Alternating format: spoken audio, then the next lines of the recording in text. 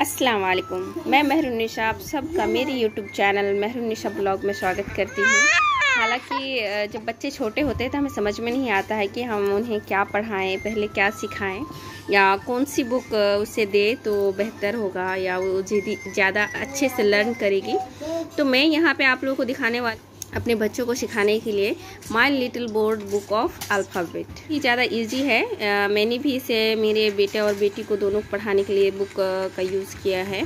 तो मैं ये बुक आप लोगों को दिखाने वाली हूँ। यह ज़्यादा कॉस्टली भी नहीं है। इसका प्राइस है फिफ्टी रुपीज़ ये आ, मार्केट में अवेलेबल किताबों की दुकान से ख़रीद सकते हैं ले सकते हैं।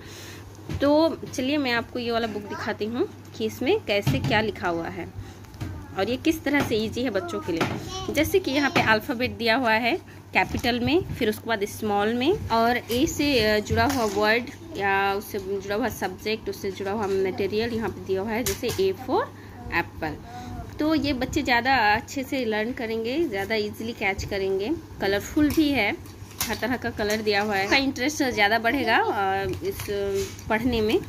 तो जैसे यहाँ पे बी है कैपिटल में और स्मॉल में, ये दोनों ही अलग अलग कलर में है। फिर बी फोर यहाँ पे बॉल तो हर चीज़ को बहुत अच्छे से क्लैरिफाई किया हुआ है, यहाँ पे बहुत अच्छे से दिया हुआ है। जैसे कि सारा चीज़ हम देख बड़े बड़े अक्षरों में दिया हुआ है। और बच्चे ज़्यादा इजीली कैच करेंगे। तो ये बुक मैं पढ़ाने के लिए प्रीफर करती हूँ। तो मैं अगर आप लोग भी सोच रहे हैं, आप लोग बच्चों को क्या पढ़ाएँ, कौन सी बुक दें तो ये वाला बुक प्लीज़ प्लीज़ प्लीज़ आप अपने बच्चों को पढ़ाइए ताकि वो ज़्यादा इजीली इसे कैच करेंगे और उसे पढ़ाने में भी बहुत मज़ा आएगा। Thank you